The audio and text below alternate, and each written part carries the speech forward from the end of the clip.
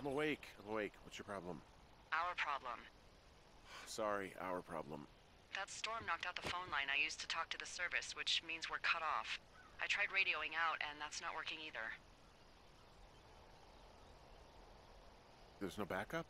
The backup is the two-day hike out of here. So that's a no? It's easier for me to send all the lookouts out to check the status of the wire in their areas. Yours is a good hike away. If you find any portion of it down, I can try to get a hold of a ranger and he'll bring someone in to fix it. Okay, I can do that. Where is it? You probably had to hike through a cave yesterday to get home. Uh, yeah, I did. So you're gonna want to go back there, go through it, and keep going straight to the north when you come out. Will do. Thanks, Hank.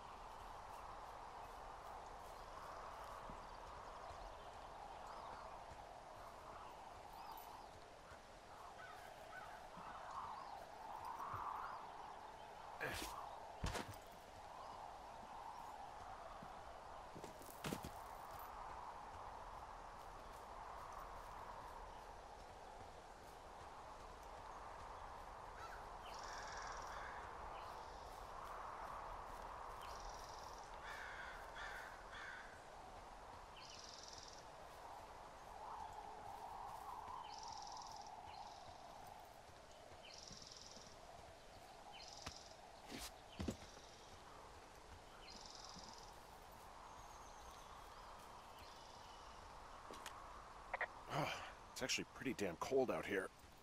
Roger that. Warms up fast. The mornings are cold in Boulder, though, right? Yeah, they are. What did you get up to down there? I mean, what's life like?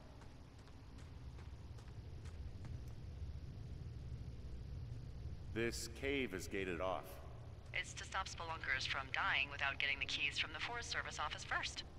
Makes sense. Although Debbie says she lost them like three years ago, so maybe its mysteries are locked away for good. Uh, that's too bad. I used to go caving in Colorado a lot with someone. Would be really nice to pick that back up. Fond memories, huh? Big time. I'll uh, I'll keep an eye out for those keys. Don't hold your breath.